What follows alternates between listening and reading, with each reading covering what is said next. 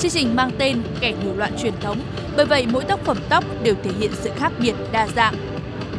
Bộ sưu tập Model Ethno của ba nhà tạo mẫu tóc đến từ Học viện Icono Academy của Đức là những tác phẩm mang âm hưởng từ các nền văn hóa châu Phi, phương Đông và châu Á rõ nét, khi kết hợp các yếu tố hiện đại từ tương lai, sự pha trộn đa văn hóa và các lễ hội màu sắc.